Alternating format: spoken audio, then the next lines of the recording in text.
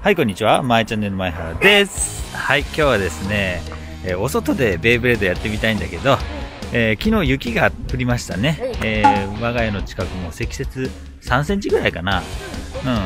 うん。で、ここはね、綺麗な状態で残ってるので、ここでやりたいんだけど、ただ、この雪の上でベイブレードするんじゃなくて、このスタジアムにですね、雪を持って、その上でやっちゃいたいなと思います。どうですか？ねちょっとね、雪のところでやってみたい企画だったんで、実際やってみようか。はい。この周りの雪をですね、こうやってここに盛ります。シンプルだいい。ね。これでちょっとギュッギュッギュッとね。それ多すぎかな、これ？いや、大丈夫だよ。すごいな。雪の中に埋もれちゃった。あ完全に埋もれましたね。じゃあ実際シュートしてみましょうか。パパが使うのは、パーフェクトフェニックスのゼニスボルカニックダッシュでいきますね。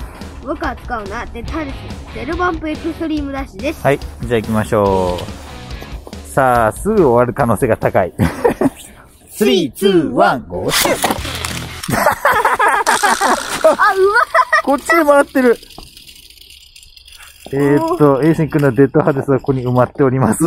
脱落した。はい。3、2、1。 go shoot やったやったさあ、初めてバトルが。おー、負けた3、2、1。1 go shoot お、お、お、お、どうだ？削りながら真ん中に行くぞ。削りながら真ん中に行くけど、どうやらスピンフィニッシュ。エイシン君の勝ち。ハデスがなかなか持久力が雪の中であるね。3、2、1。お、いけ、いけ、お、当たった初めてバトル初めてバトルお、どうだ？あ、負けたハデス強し。